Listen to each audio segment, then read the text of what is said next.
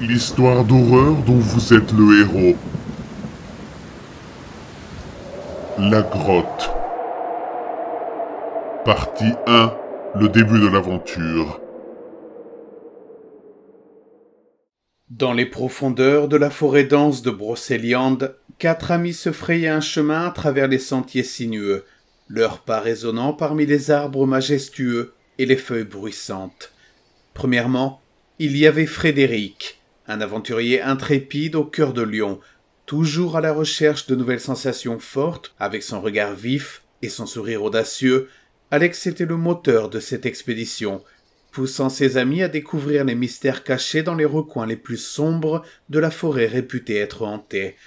À ses côtés marchait Émilie, une âme sensible et artistique, dont les yeux pétillaient de curiosité à chaque nouveau paysage rencontré.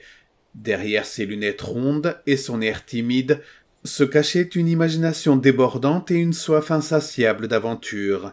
Émilie avait suggéré cette escapade comme une opportunité de trouver l'inspiration pour son prochain chef-d'œuvre artistique.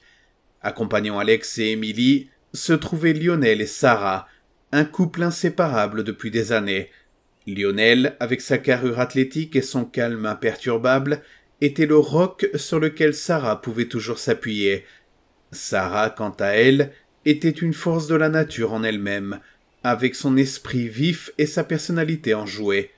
Ils avaient tous deux accepté l'invitation d'Alex et Émilie avec enthousiasme, voyant cette journée comme une chance de se reconnecter avec la nature et avec eux-mêmes.